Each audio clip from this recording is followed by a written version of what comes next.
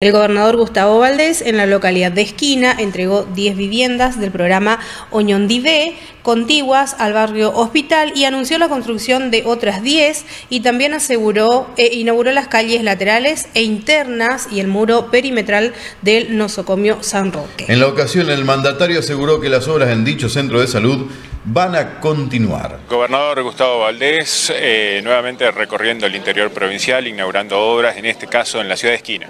Bueno, nos estuvimos hace ratito nada más inaugurando 10 viviendas de Oñón de estamos, que son viviendas que del programa del gobierno de la provincia de Corrientes, que lo hacemos con esfuerzo, con sacrificio, con plata de los correntinos, pero estamos generando también una, una alternativa a la necesidad de la gente de tener un techo digno.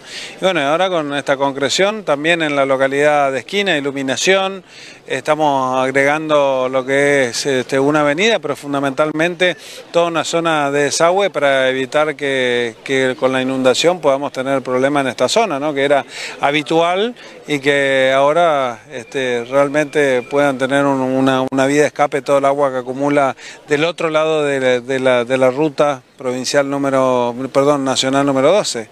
Así que un gusto y bueno, inversión importante del gobierno de la provincia. Hizo una especial valoración que esta avenida se llame Raúl Alfonsín. Bueno, se llamaba Alceibo, se sigue llamando Alceibo de la mitad de la ruta para aquel lado. Así que, pero bueno, 40 años de democracia, el Consejo Deliberante de la localidad decidió homenajearla con el nombre de Raúl Alfonsín y eh, yo soy admirador de Alfonsín, así que para mí es un, es un gusto poder inaugurar esta avenida. Y además anunció que va a continuar la obra aquí. Bueno, vamos a estar haciendo cuatro cuadras más, 400 metros de avenida para complementar y proteger todo lo que, lo que hay debajo que tiene que ver con, con tubos, con entubados, que es, importante, aparte de seguir colaborando con la localidad. Bueno, también anunció más viviendas también aquí en Esquina. Bueno, 10 más que estábamos ya, ya ejecutando y vamos a seguir haciendo viviendas para urbanizar lo que es la zona de hospital y bueno, vamos a seguir con el hospital, ¿no?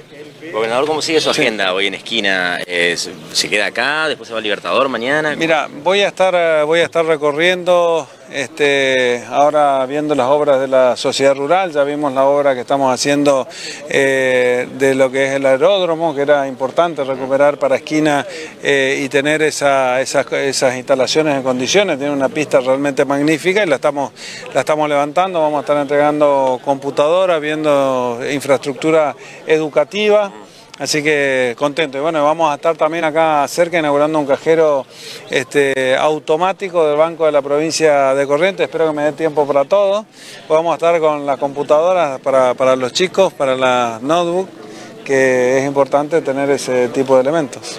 ¿Algún anuncio importante para la provincia? Esta mañana leíamos, leía en la radio eh, la noticia de, bueno, en siete meses el 105% para los trabajadores y la posibilidad de aumentar aún más. Bueno, vamos a estar con, vamos a estar con otro incremento y vamos a seguir haciéndolo, ¿no? Viendo, viendo siempre cuál es la variación de, precio que tenemos, nosotros estamos haciendo nuestro esfuerzo también para, poder preservar el poder adquisitivo de los ingresos de los trabajadores estatales.